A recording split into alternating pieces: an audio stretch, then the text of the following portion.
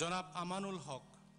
বিভিন্ন ক্ষেত্রে গৌরব উজ্জ্বল ও প্রশংসনীয় অবদানের জন্য এবার একুশে পদকে ভূষিত করা হয় ষোলো গুণীজনকে। ওসমানী স্মৃতি মিলনায়তনে তাদের হাতে পদক তুলে দেন প্রধানমন্ত্রী শেখ হাসিনা। ভাষা আন্দোলনে অবদানের জন্য অবসরপ্রাপ্ত বিচারপতি কাজী এবাদুল হক, ডাক্তার সাইদ হায়দার ও ডক্টর জসিমউদ্দিন আহমেদকে একুশে পদক প্রদান করা হয়। মরণোত্তর পদক পেয়েছেন ভাষা সংগ্রামী সৈয়দ গোলাম কিবরিয়া।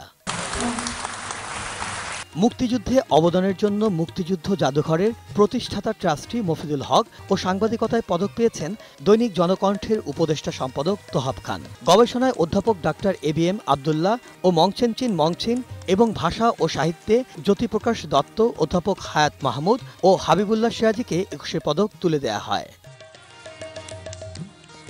এছাড়া শিল্পকলায় সংগীত শিল্পী শাহিন সামাদ নৃত্যশিল্পী আমানুল হক, শাস্ত্রীয় সংগীত শিল্পী অমরেশ রায় চৌধুরী ও অভিনেত্রী জাহানারা আহমেদ পেয়েছেন এবারের একুশে পদক। চিত্রশিল্পী কাজী আনোয়ার হোসেনকে দেয়া হয়েছে মরণোত্তর পদক। পরে প্রধানমন্ত্রী তার ভাষণে বলেন, একুশে ফেব্রুয়ারি মাথা নত না করার চেতনাকে ধারণ করে এগিয়ে যেতে হবে।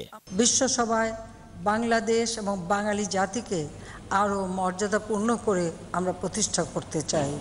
আমরা কখনো মাথা নত করব না।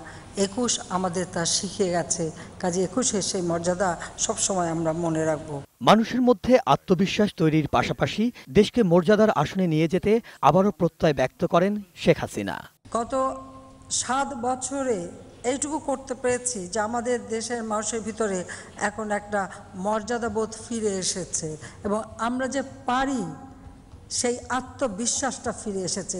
ভবিষ্যৎ প্রজন্ম গুণীদেরকে দেখেই উজ্জীবিত হবে বলেও আশাবাদ ব্যক্ত করেন প্রধানমন্ত্রী শেখ হাসিনা।